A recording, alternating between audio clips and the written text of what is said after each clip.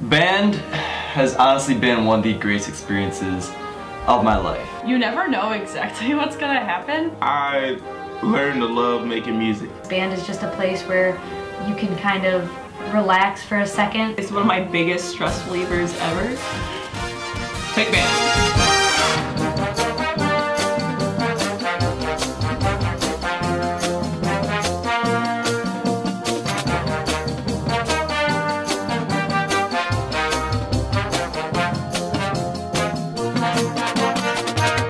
It just kind of provides like a change in pace in the day because you go from like math, science, like all these like studious classes to just like playing music, which is just kind of a good time. The people you meet here are some of the best, the nicest, some of the funniest people I've ever met in my life. And it's much like a football team where you have people that depend on you and they need you to be, you know, given 100% at all times.